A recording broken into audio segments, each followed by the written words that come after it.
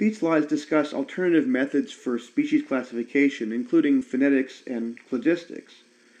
As you found with the ammonite classification exercise, traditional identification methods can be subjective, and phenetics and cladistics uh, were developed as a more quantitative or objective approach for species classification.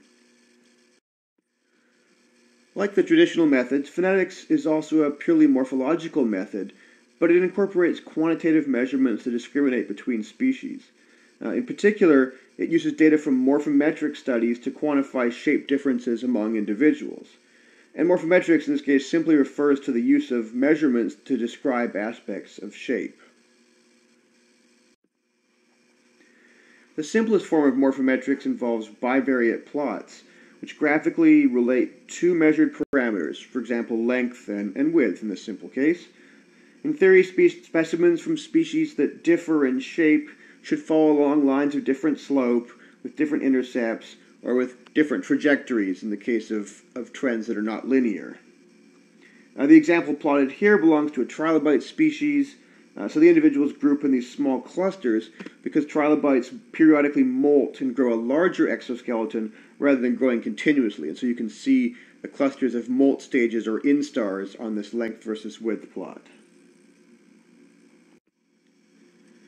A more sophisticated method called geometric morphometrics uh, quantifies shapes based on the position of many landmark points marked here on this, this trilobite cephalon. Ideally, a landmark should represent a homologous anatomical feature. Uh, homologous means that the feature has a shared evolutionary origin among the species under consideration. Uh, for example, the front of a trilobite glabella, point 11, um, or the genal spine, uh, point 9, um, are homologous features. Points can also be chosen to reflect geometric features like positions of maximum curvature, uh, but that's less ideal than the homologous feature landmarks. The landmark points all have coordinates, x, y coordinates, and that multivariate data, the position of many x and y coordinates, can be summarized and assessed using ordination methods like you did with the species abundance data. Phenetics has advantages, uh, namely that it is a more quantitative approach and it should be more objective than traditional methods of classification. Um, however, it treats all morphological features equally and doesn't really distinguish between traits that are inherited from an ancestor and new evolutionary innovations found in a species. Uh, in addition, it can be misled by convergent evolution, where similar morphologies evolve in unrelated groups, it doesn't specifically treat morphology in an evolutionary framework. Uh, the method of cladistics, or phylogenetic analysis, provides that explicitly evolutionary framework uh, based on shared anatomical characters to create hypotheses of evolutionary relationships. The result of this phylogenetic analysis is something called a cladogram, uh, which arranges taxa on branching trees. The taxa are arranged at the branch tips like this with these seven taxa. Um, and the branching points or nodes represent hypothetical common ancestors from which those species diverged. The first step in generating a cladogram is to code characters or morphological features, uh, typically dozens to more than 100 features in an analysis, um, these features are chosen and they're assigned discrete states, such as the presence or absence of a particular feature. Uh, in the example illustrated here, the features are chosen for ammonite sutures, and they can be coded based on the orientation of specific lobes, whether they have no orientation or oriented one direction or, or the other. Um, so all these character states are coded, mostly as 0 or 1 in the case of characters that have a presence or an absence to produce a character matrix like is shown at the bottom here.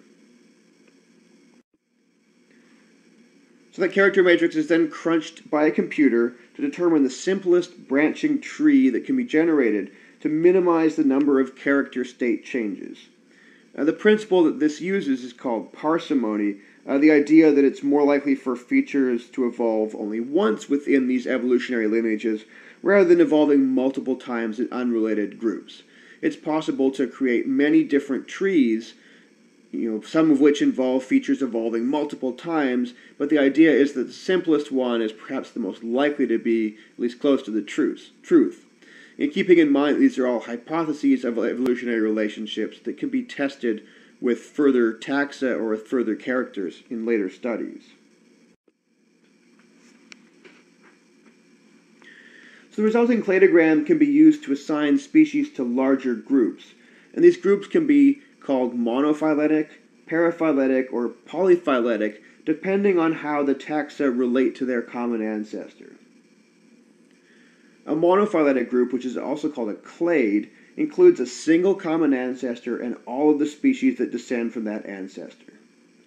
For example, uh, the species here in the, the red area um, comprise a monophyletic clade because that group includes a single common ancestor, the red node, and all of its descendants, all six branching tips that are found after that node or above that node on the tree.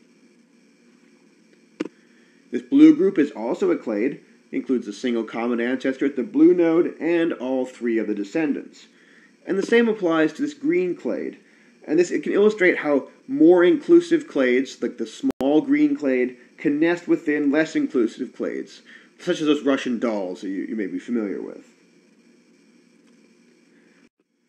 So monophyletic clades are the ideal classification method. We want to try and group species into larger groups that are actually monophyletic.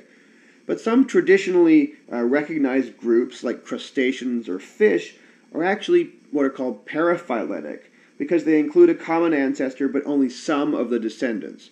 Uh, for example, insects also developed from the same common ancestor as crustaceans, and we actually share a common ancestor with fish, but we are not traditionally considered fish, and insects are not traditionally considered to be crustaceans.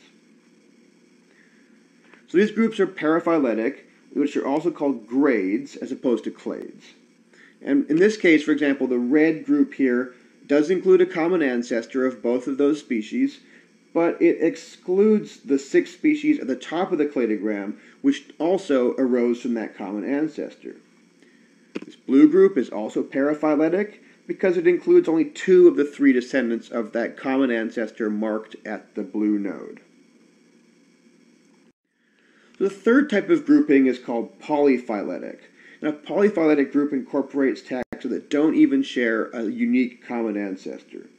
For example, a group that includes the three taxa here highlighted in blue is polyphyletic because they don't derive from a single common ancestor. There are two common ancestors marked as the two blue circles at the nodes. And there are other taxa that branch from the cladogram between the common ancestor of all of the taxa marked. So because cladograms are based on shared characters, each branching node is defined by one or more character state changes. The change from a 0 to a 1 or a 1 to a 0 in our character matrix. The evolution of a new feature or the loss of a feature or the change in the nature of a particular anatomical characteristic. For example, this clade here, clade A, um, can be defined by an evolutionary novelty or a derived character and those are often marked by a box on the branch before the node like this. These evolutionary novelties are called apomorphies, and this particular trait is a synapomorphy or a shared derived character because it is shared by the common ancestor and all members of clade A, but is not found on the tree below where that box is marked. We can also consider taxon 1, one of the two taxa in clade A, and it can be distinguished from the other members of clade A by an evolutionary novelty as well, which we'll mark there. Because this novelty is unique to taxon 1 and not found in the other members, it's called an autapomorphy. So an autapomorphy and a synapomorphy are both subgroups of this broader apomorphy or evolutionary novelty, and it just matters whether they are unique to one taxon or shared among other many taxa. So members of a clade, like clade A, can also have traits that they inherited because those traits were present in an ancestor of the clade. So they are not a new evolutionary novelty evolved just in that clade, they had been present long before. These traits are called plesiomorphies that are primitive characters or ancestral traits. For example, clade B here is a less inclusive group. Uh, its members can be characterized by the possession of a particular synapomorphy marked down here. So this trait is a synapomorphy for clade B because it's an evolutionary novelty that first appeared in the common ancestor of all of the taxa in clade B, but was not present before. However, that trait is also a plesiomorphy for clade A. Um, because it's present only in clade A because those taxa, those two taxa in the red clade A, inherited it from their earlier ancestor. So in class, you'll practice making cladograms from data, uh, data matrices, interpreting evolutionary relationships, and identifying monophyletic, paraphyletic, and polyphyletic groups, and finally also recognizing what apomorphies and plesiomorphies are on these phylogenetic trees.